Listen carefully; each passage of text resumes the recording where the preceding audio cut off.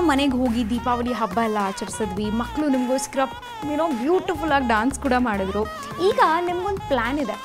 ನಾವು ಹಾಕಿರೋ ಪ್ಲ್ಯಾನ್ ಏನಂತ ಹೇಳಿದ್ರೆ ನಿಮಗೆ ಅಪ್ಕಮಿಂಗ್ ಪ್ರಾಜೆಕ್ಟ್ ಸಾಕಷ್ಟು ಬರ್ತದೆ. ಒಳ್ಳೇದಾಗ್ಲಿ ಅಂತ ಹೇಳಿ ಒಬ್ರು ಜ್ಯೋತಿಷ್ ಮನೆ ಕರ್ಕೊಂಡು ಬಂದಿದ್ದೀವಿ.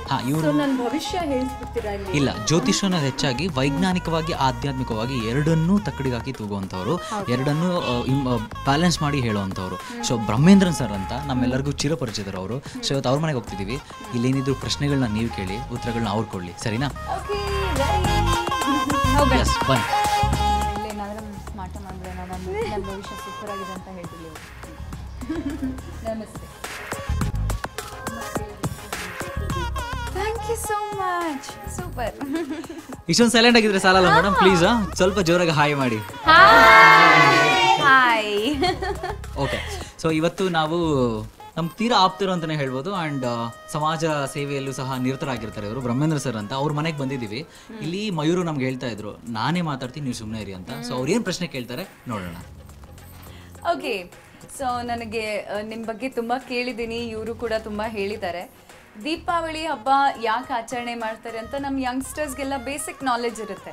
ಬಟ್ ಅದನ್ನು ಆ್ಯಕ್ಚುಲ್ ಆಗಿ ಏನಕ್ಕೆ ಆಚರಣೆ ಮಾಡ್ತಾರೆ ಅಂತ ಒಂದು ಇನ್ಫಾರ್ಮೇಶನ್ ನಮಗಷ್ಟೇ ಅಲ್ಲ ಎಲ್ರಿಗೂ. ಬಟ್ ಸರ್ ನೀವು ಉತ್ತರ ಕೊಡೋಕ್ಕಿಂತ ಮುಂಚೆ ಅವ್ರನ್ನ ನಿಲ್ಲಿಸಿ ಉತ್ತರ ಕೊಡೋದು ನನಗಷ್ಟೇ ಅಲ್ಲ ಎಲ್ಲರೂ ಕೂತ್ಕೊಳ್ಳೋಣ ಆರಾಮಾಗಿ.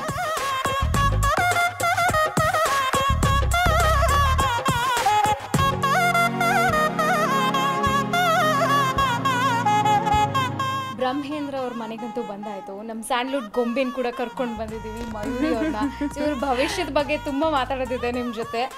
ಸೊ ಅವರೇ ಪ್ರಶ್ನೆಗಳು ಕೇಳ್ತಾರೆ ನಿಮ್ಮನ್ನ. ಶುರು ಮಾಡ್ಕೊಳ್ಳೋಣ. ಸೊ ಆಗಲೇ ನಾನು ಅದೇ ಕೇಳಿದ್ನಲ್ಲ.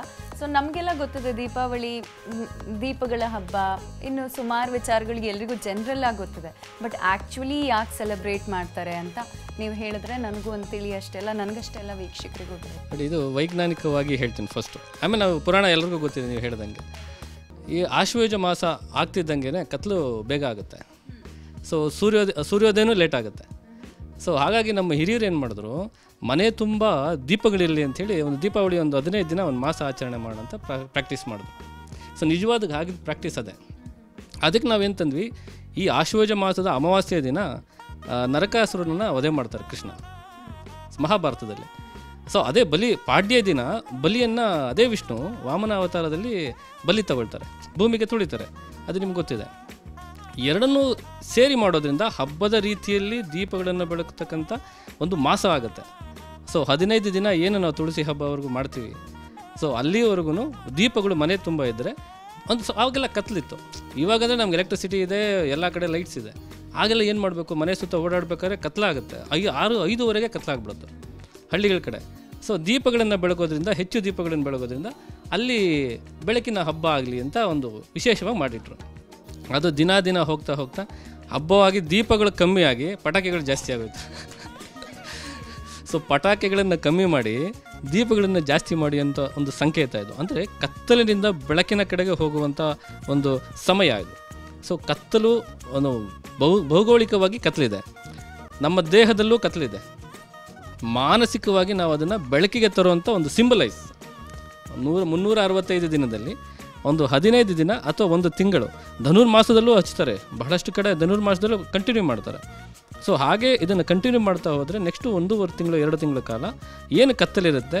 ಅದು ಬೆಳಕಿನ ಹಬ್ಬವಾಗಲಿ ಅಂತೇಳಿ ಒಂದು ಹಿರಿಯರು ಮಾಡಿಟ್ಟು ಆಫ್ಟು ಆಲ್ಮೋಸ್ಟ್ ಒಂದು ಒಂದೂವರೆ ತಿಂಗಳು ಫಾರ್ಟಿ ಫೈವ್ ಡೇಸ್ ಆ ಫಾರ್ಟಿ ಫೈವ್ ಡೇಸ್ ಹಬ್ಬದಲ್ಲಿ ನಾವು ಏನಾದರೂ ಆಚರಣೆ ಮಾಡಿದ್ದೆ ಅದರಲ್ಲಿ ಮನಸ್ಸಿನ ಬೆಳಕು ಜಾಗೃತವಾಗುತ್ತೆ. ದೇಹದ ಬೆಳಕು ಹೆಚ್ಚುತ್ತೆ ಮನೆಯ ಬೆಳಕು ಹೆಚ್ಚುತ್ತೆ. ನಿಮ್ಮ ನಿಮ್ಮ ಮಾತು ಕೇಳಿ ನಾನು ನಿಜವಾಗ್ಲೂ ನಿಮ್ ಫ್ಯಾನ್ ಆಗ್ಬಿಟ್ಟೆ. ಮಯೂರಿಗೇನೋ ಅರ್ಥ ಆಯ್ತು ನಿಂಗೆ ಅರ್ಥ ಆಯ್ತಾ? ನನಗೂ ಅರ್ಥ ಆಯ್ತು.